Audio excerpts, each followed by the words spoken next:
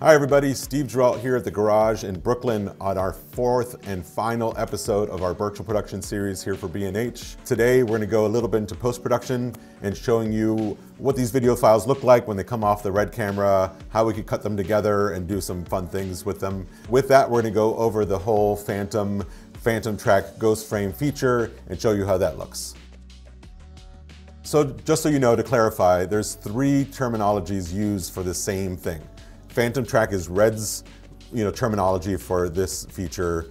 Uh, one processing device uses Ghost Frame, the other one calls it Phantom Track, but basically at the end of the day, it's the alternating frames on the LED wall and the camera doing that with the video file. So here I'm gonna show you how this looks. So I brought my files into Resolve here, and as you see, I dragged a couple of them on the timeline, and as you see, these are two clips that have the same number, just a different lettering scheme, because that's going to show you that those are the same clip, they're just the alternating phantom track version of each other. So if you see as I click and disable and enable those clips, you'll see that one is getting a green screen pass and one is getting the Unreal environment simultaneously. So as I scrub, let's go ahead and play through this. So as you see, here I am in the background and you know, I could go ahead and turn that off. It's a green screen. You turn it back on, it's the background. I could turn it on, it's green screen, I turn it on the background. It's pretty amazing. I could do this all day long, I swear to God. Um, so as you see, from this one take, we got two takes that you could use, you know, the green screen to do an alpha key or a luma key, and uh, you know, it's a lot of fun. So, well, let's show you how this could actually, you know, cut together with a real use case too, right? So, you know, let's say I wanted to go until, you know, this point here, and then suddenly, you know, switch the green screen, or let's say we had another background. It would just be a hard cut, and as we kind of move through here, boom, now I wanted to replace this part of the uh, airport later, I'm gonna re-render the background in Unreal, I could actually do that, right? So it makes it really easy if let's say you wanted to shoot an environment, and this happens in VFX and movies all the time now, where basically they'll shoot something on the LED wall, but it might not be the final art that's gonna be behind everybody, but it's pretty close, but it's enough so you get all the nice reflections on the surfaces, like as you see here, you know, as I turn this on and off, this iPad up here that was on this surface gets all these beautiful reflections off the wall behind it, you know, especially as I come around. See those reflections, if we were shooting green screen, they would have to try to replicate what would be in there and that would be a nightmare, you know? And even just the light coming through the chair, like all of that and let's say, you know, in post now they want to add more clouds and they want to add more planes flying into the sky and all that stuff, they could actually use the, the bottom part with all the beautiful reflections and just add that on top with a lot less pain and suffering. You know, the one to really note here is this water bottle, right? If you're trying to replace that, that would be a total, total nightmare trying to replace those refractions or reflections in there because that is just really hard to replicate in post. So now that we have that going, um, let's move on to a little bit of the edit of putting these two clips I did earlier together. All right, as you see here, I've loaded two clips that we shot. One has me in the foreground over here, as you see, as I scrub through here. And then one we shot, we did multipass, so one has me in the background. And for this edit, I want to have myself in both of those positions. So the easiest way to do this is basically, let's see where I want to make that transition. So I'm going to start with me in the foreground here, and let's say right around here I disappear. So this is a great opportunity for me to make that transition. So I'm going to go ahead and put a cut there, and I'm to get rid of this half. I'm to turn that clip back on, and we'll see what happens here. So Oh, whoops, I did this backwards. Uh, here we go. We're gonna do that the other way. I delete this half. Okay. Now we go. So now let's see what that hard cut looks like. So here I am, I'm talking in the foreground, go to drink my water. You know, we come across the computer, and as I kind of come over this way, then, oh, look at that, I'm over here again. So what you might have noticed though is and this is something that we could have changed in our Unreal setup if we wanted to. When I do that hard cut, the, actually the sun changed slightly because the clouds are actually moving for real in the Unreal world. So it's almost like we're actually outside. And if we're really gonna be perfect about it, we can make sure that when we did both of these clips, the clouds were in the same place. But I can show you how to get rid of that. So basically, what we could just do is do like a 24 frame cross dissolve on that.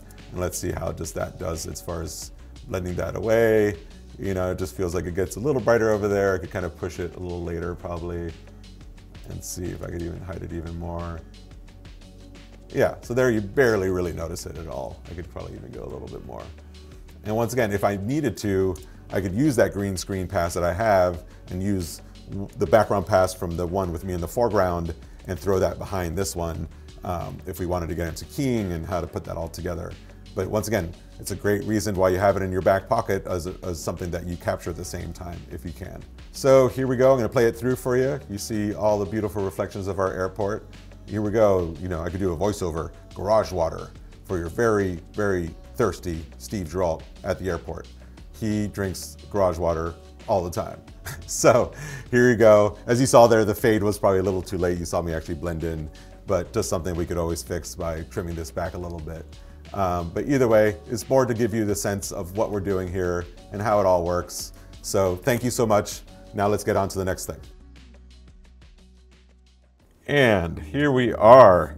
So this is our incredible ghost frame meets phantom track meets lighting changes all on top of each other with multi-pass on top of that. So this is the most extreme version of the demo that we did that really shows you how far this technology could go. It also shows you how complicated this technology can be to get just right because these tools aren't necessarily really built for this.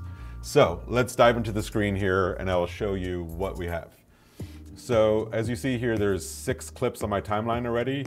I went ahead and just put them all on here. I picked one for the beginning scene, the middle scene, and one for the end scene. So basically, as you see here, this is one for the beginning scene where I'm gonna go pouring the Mountain Dew, and then we'll get into the other two spots of it. And as you see here, if I turn off this top track, suddenly it's nighttime, including the lighting, everything has changed, and this is the same exact shot. Oh my God, that's so crazy. Here we go. So as you see, as I scrub through here, like that is nighttime, that is daytime, and we are totally changing the lighting in the foreground and the background using all this crazy technology. Um, so this is the same for all these clips. So you see we have a daytime, nighttime here, and then a nighttime and a daytime here as well. So as we cut through it, um, as you see, the only thing that moved was the drinks that moved around a little bit um, and stuff like that. So basically, um, as far as, you know, we got this off the Red Raptor XL, um, just to give you a sense of what we've done so far for color is all I did was apply the LUT that I got what I was using in the camera, which is the, you know, Rec 709 low contrast soft highlight roll off. So that's a nice starting point where I like to use for my color correction. So now let's, let's cut it into this. I could have so much fun. Just to get it started though, this is the beginning scene. So I'm gonna, at the most, I'm gonna use that until about here. So I'm gonna go ahead and put a cut into that one so I know that that's the end of the beginning scene. And then I'm gonna go ahead and turn those off. And then here you're gonna get to the middle scene, which would start at the earliest, right around that cut moment, exactly. Um, actually, I might need a few frames before there.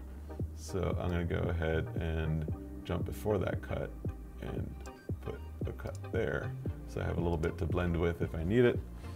And then on the last scene here, it's after the middle, we go into the end. So that's where I'm over there. So let's say I'm gonna cut around there. Oh, whoops, not there, there. There you go. Okay, so at least that gives me my markers for beginning, middle, and end as you can see on the screen. Let me show you something real quick. For those of you that have never done multipass, um, which is running the same movement multiple times, um, you want to line up your clips, right? Because every time you roll the camera, then you wait to do the move and there's a little delay there. So with that, um, a cool trick to use is to basically put two on top of each other like I did.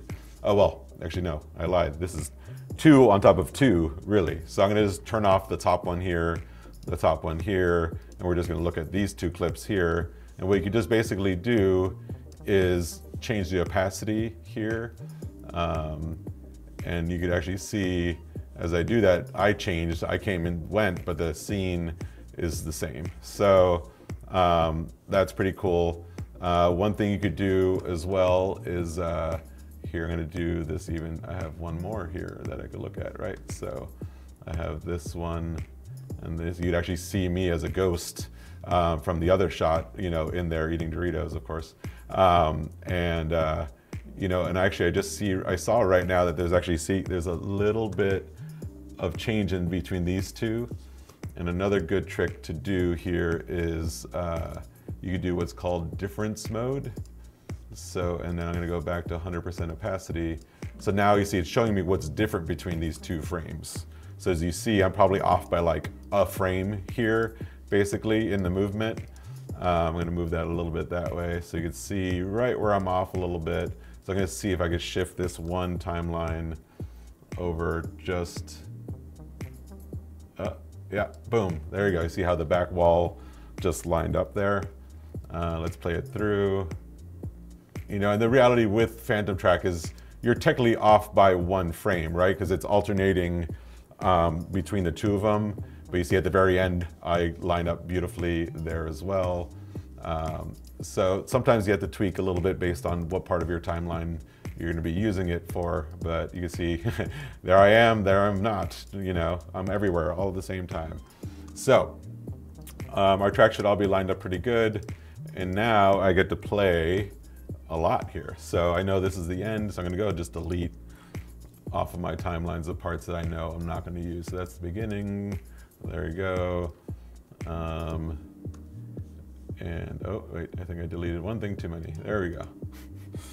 beginning, um, all right, so that's my beginning, that's my middle, and that's gonna be my end once I trim off the rest of that. Uh, all right, so let me do a cut right in here. this is tricky. I'm, on, I'm really on both sides of that shot, so I'm gonna have to be smart on how I blend that together. Uh, so here, if we play is through here, so you see I'm pouring, I'll scrub it to make our life a little easier. I'm pouring it. Because the idea is I'm gonna speed ramp into some of those slow motion pour moments. And then suddenly, here I come again. I'm pouring the water. And then we keep moving. Here, still pouring the water. And then we're gonna cut across over here. And suddenly, yeah, I gotta get that. That's not quite lined up perfectly right now, timing wise, but you get the idea. Um, so let's just do one more little adjustment to that opacity. Uh, and see where my timing is off there. So, because, you know, we want the very best and post-production, you know, sometimes takes a little while. It's tricky, there's a lot going on in this scene. Okay, I think right there is it. I'm gonna use my little difference trick I showed you. All right, let's get to the fun stuff though. So, basically right here, we're loving this, but now let's say you know, I want to go to nighttime. So all I have to do right now is I could put a cut in that one and like halfway through this pour right here, suddenly, boom, we're in the nighttime scene. And then we're going to keep moving.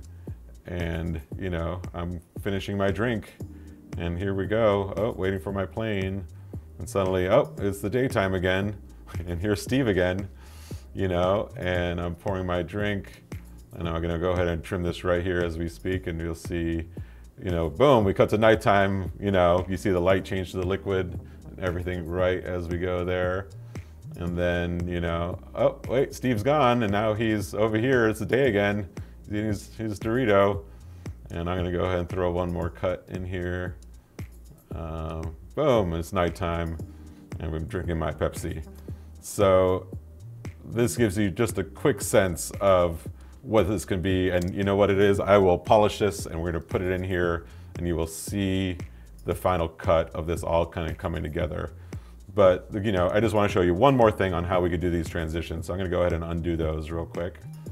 Um, so the other cool thing we could do is actually do a wipe, right? So let's say I wanna start here and I'm actually going to uh, crop this. So I could crop the right side of it. So this, this is where it gets real fun, right? So this whole story I could make a split screen story, right? So we're gonna start moving here. Oh, there we go. And as you see, half the screen is daytime, half the screen is nighttime. Even the ice cubes are moving across the screen. Um, and that's pretty crazy. Um, and as you know, things move through the scene, you know, half of it is daytime, half of it is nighttime, and it's pretty unreal to kind of see this happening. And here we cut to the next scene. Um, if I wanted to do the same thing, let's say I cropped the right to 938.